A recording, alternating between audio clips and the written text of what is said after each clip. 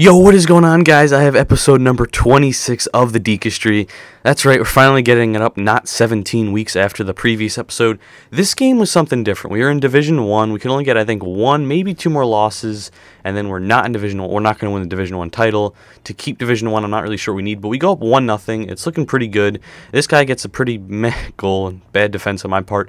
And then all of a sudden, while I'm playing this game, my hip just goes.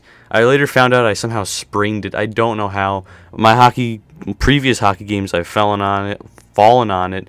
I've got hit in the same hip. All this stuff has happened to the hip. So I was. It, it's been in pain for a while, but like it was fine. I never went to the doctors or anything, but like it had strong pain, so I just put icy hot and all this stuff on it, just trying to ignore it. And then randomly, while I'm just sitting down, I guess I sat on my hip some way weird or something, and the worst pain ever. I actually blacked out from pain. So that's a story right there. But while I was playing, I just that happened. I don't even know what happened. All I was doing was just adjusting like where I was sitting, and then boom, it just happened. I had all this pain. I was not playing NHL. Obviously, I couldn't. I blacked out. Just terrible this game. Obviously, I got the loss. Just showing you the goals he scored. He ends up winning this game 4-1, and at this point, with my hip, I couldn't really walk properly for about a week.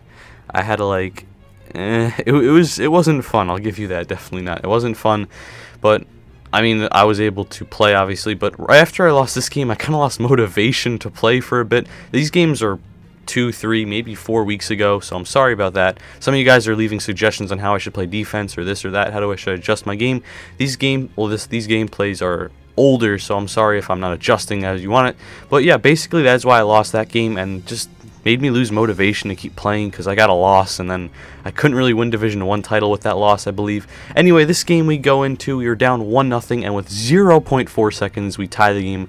I think that's the clutchest goal I've scored, well, the best tying goal or whatever with the least amount of time. I've scored it in NHL 15 with 0.4 seconds left to tie the game. Mike Modano, he's been clutch for us. He's really, really good, actually. He's got great speed, good hands, and his shot's been pretty good. Nothing too amazing, but that was a sick shot, and he does tie the game for us.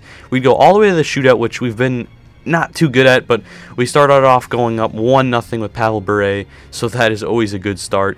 And he would come in with his own Pavel Bure and try to do something similar, and he does score to make it a 1-1 game. Do not like the shootouts at all. I wish they were not in Hut. It's just, uh, maybe if you could control the goalie, it'd be different, but I just do not like it. We go up with Patrick Kane. He does the same thing backhand. I mean, that's how you got, that's the only way you can win. You're playing computer goalie. If you make the mistake like this guy does of not actually capitalizing, you have a good chance of losing. So Malkin misses, and Kane does score, so it was 2-1, and Duchene could win it, and he does. He makes it a 3 well, 3 1 in the shootout. So we end up winning the shootout, scoring all three chances. The previous shootout we played, I don't think we scored in one chance. So big difference there, big difference there. We are 3 2 and 1, and I believe, yeah, we cannot. We cannot get the 16 points, sadly. So all this is just for nothing. And I was just trying to finish off division, like just to restart it again, because we obviously can't win. Just want to stay in Division One and then hopefully get a good chance of actually winning the title we need eight wins or just 16 points. But anyway, we go, we tie the game at 1-1 and just trying to put some pressure on here. He makes a good little play to get it out of his zone. Bure comes in. No, that is not Bure. That is Oshie. He makes a nice little play. Steen back to Oshie, and then you guys could explain that to me. Bad defense on my part, but I don't know how that goes in. Anyway, Duchene has the puck. He skates a circle, throws it to Kane. Kane doesn't get it, but he picks it up just like a spinorama. And Kesler kind of does the same shot he does, but it's closer and with more power. So that one makes more sense, but still not a very good shot. And Bure, shortly after, makes it a 3-2 lead for us.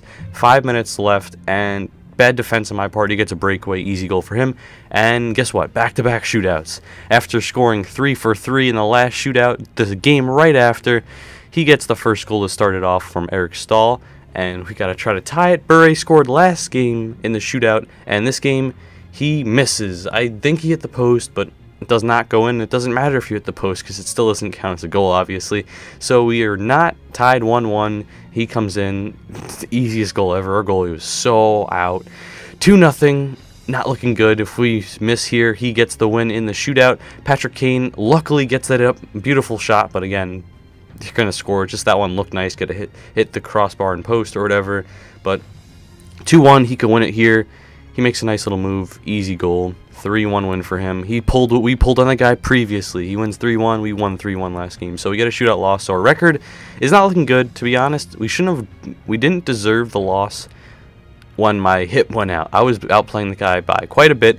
Anyway, this episode's going to be a bit different, and you guys have semi a surprise for, for the next episode, but I'm going to end this episode off just opening packs. We do pull a Team of the Year, which I've never showed before that I've pulled, so if you guys want to watch this and understand what's going to be coming for the next episode and what was previously and all this stuff, I'm going to be talking about it for the next four or five minutes or such. So I'm not really going to be talking about what I get in the packs unless there's something amazing that I want to pop up, which if you guys watch it, you will see one of the amazing pulls we do get. But I'm going to be talking about how this episode was just kind of a blur. Not a blur, but like we we didn't win Division 1 title. We kind of got close, but not too close. So I decided I want to revamp the whole team. I'm going to change everything up.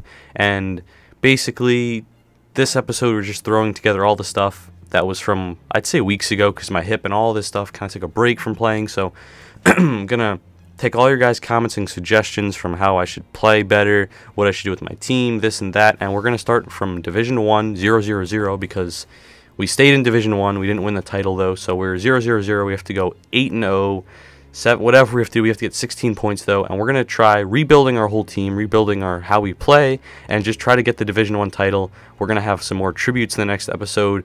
But again, this episode is just I'd say kind of a shorter episode, kind of random by throwing in packs and stuff, and the whole hip thing. That game just ugh kind of a mess.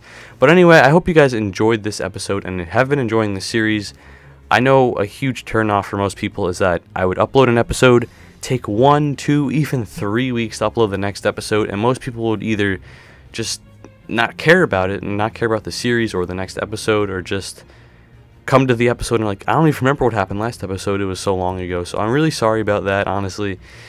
It's frustrating and I wish I could have been more active. It's just a lot of things have happened. When my hip went out, I didn't have any motivation from losing and B, I didn't have any motivation just from I couldn't really. I don't know. It was hard to sit. I had, it was more comfortable walking or just laying in bed than actually sitting on my chair, sadly. So I couldn't really play that much. But anyway, I am back and we're going to be more active. I hopefully, I mean, my videos have been more active. If you guys have noticed, I think I have about eight or nine videos in the past two or three weeks, which is it's been really good and hopefully you guys are enjoying the episodes and videos and pack openings and stuff like that. Pulled a Team of the Year Seguin if you guys saw that and sadly that will not be on the Dekestry. I did not selling it but for a player who will be on the Dekestry the next episode so you guys will see who that is so that's kind of exciting. He's a top end player who I've never used before who I'm excited to use. But anyway, this next pack opening will be the Team of the Year that we do pull. It's not a live commentary and I'm not even that uh I know my emotions, emotions, there you go. I'm not like, whoa, oh my god, Team of the Year Carlson. But yeah, we did end up pulling one a while ago. Sold him for like 160 and I wanted to try him, but I ended up selling him. But if you guys enjoyed this video, please leave a like, and any suggestions or comments will actually be going towards the next episode of the Dekestry. So if you want to leave that in the comment section below, that would be really appreciated, and I'll be looking at some stuff as well as leaving some player suggestions and stuff like that. But I will see you guys next episode, and we're hopefully on our way to winning the Division 1 title. If you guys enjoyed this video, please leave a like, and I will see you guys next time.